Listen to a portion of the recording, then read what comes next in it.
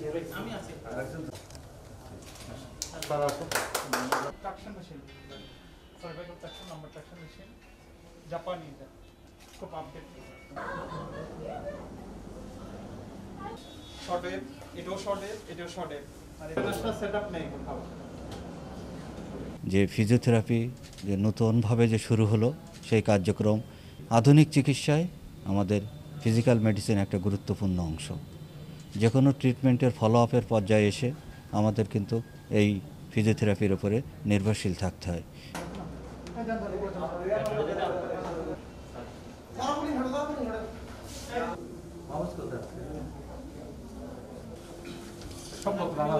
মেশিনের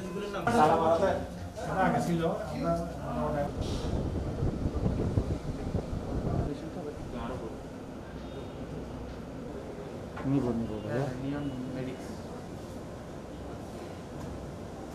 এই ফিজিওথেরাপিটা হলো যে স্পেশালি যে কোভিড এফেক্টেড পিপল যাদের লাং ইনফেকশন থাকে তো ওনাদের একটা রেসপিরেটরি থেরাপি যেটা আছে সেটা আমাদের স্পেশালাইজড টেকনিশিয়ান যারা আছে তারা দিচ্ছে।